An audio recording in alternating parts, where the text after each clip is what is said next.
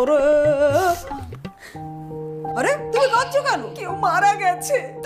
কে? তোমার বোন? না। তোমার মা? আরে চুপ থাকো তো। বৌমা হলো ঠাকুমা সিরিয়ালের ক্যারেক্টার সোহিনী মারা গেছে। সবাই